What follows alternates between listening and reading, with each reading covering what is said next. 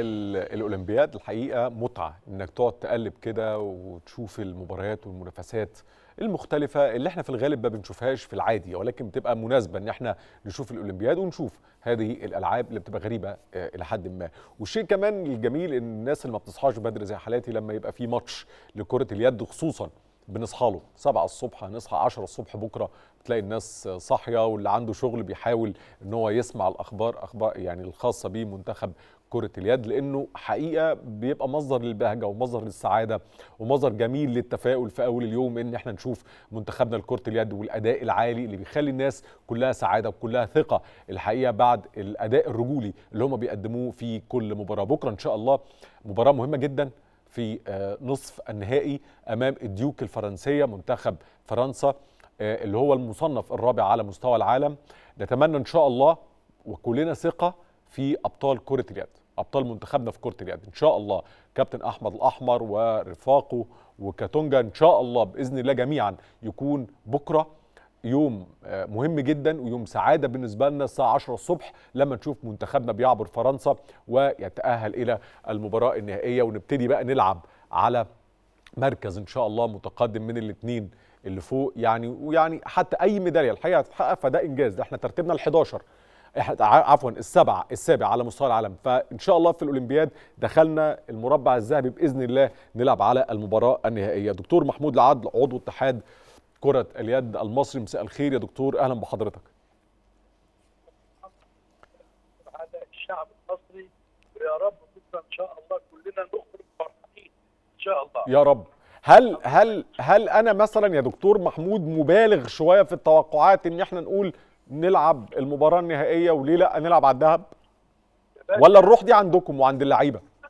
حضرتك من أول لقاء اتكلمت مع حضرتك وأنا كنت متفائل جدا متفائل اللقاء صحيح. تمام؟ وكنت بقول لك إن شاء الله هنعبر وهنحقق ميداليه إن شاء الله. حتى أنت قلت لي ميداليه نوعها إيه؟ قلت لك أنا طمعان. أيوه؟ صح. أنا فعلا طمعان في الميداليه الذهبية. حضرتك سير المباريات بتاعتنا اول ما بدأنا لحد إن شاء الله النهارده وبكرة بإذن الله مستوى الأداء بتاع المنتخب يتحسن من مباراة لمباراة. حقيقي. طايم لطايم الولاد ينسجموا أكثر. الولاد يجتهدوا أكثر.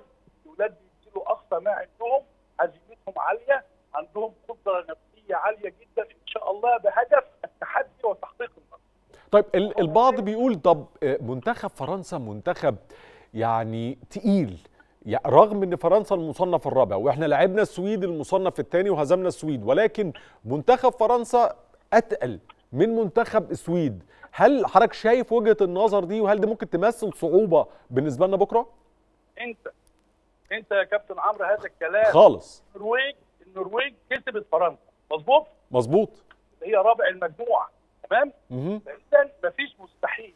إحنا مم. بنلعب المباريات وننسى كل اللي فات. مباراة من أول وجديد ننسى تاريخ فرنسا. ننسى كل حاجة. مصر الجديدة مصر الفراعنة. لا في حالة ثانية خالص غير كل الحالات. يا رب. المكسب بتاعنا على السويد ثم المكسب بتاعنا لالمانيا لا دي كل مباراة منهم تعتبر بطولة في حد ذاتها. كون إن الفرقه بتاعتنا تتغلب على خمسة وتتغلب على ألمانيا. ألمانيا بالظبط ونسيطر على مجريات المباراة من أولها حتى آخرها. لم يستطيعوا اللحاق لم يستطيعوا التعادل بذلوا أقصى ما عندهم. آه. ولم يستطيعوا فعل أقل فارق كان أقل فارق كان آه، هدفين لصالحنا يعني. لما أقصى حاجة وصلت لها ألمانيا. بالظبط كده. فاذا إحنا لا إحنا فريقنا فريق واعي فريق فيه استطاع يديله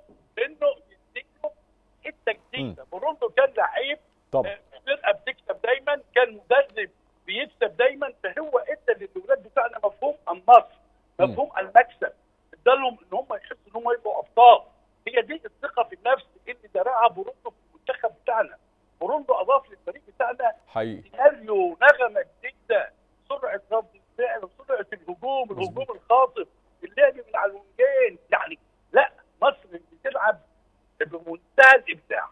حقيقي. مظبوط. اللي ما حصلش قبل كده.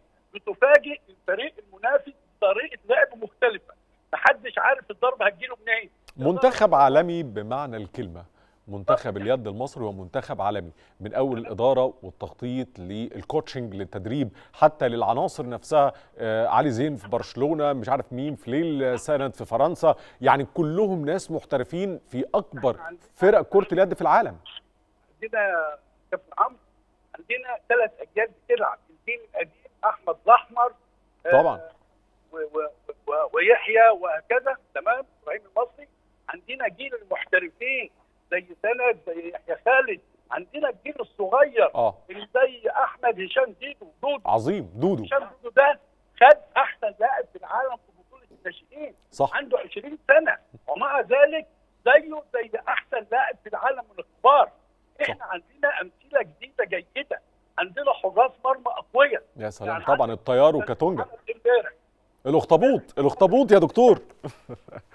كل التوفيق يا دكتور محمود وإن شاء الله يوم السبت نبارك لحضرتك على التأهل والمباراة النهائية بإذن الله. بعد ما نعبر بكرة فرنسا. شكرا جزيلا دكتور محمود العدل عضو اتحاد كرة اليد المصري.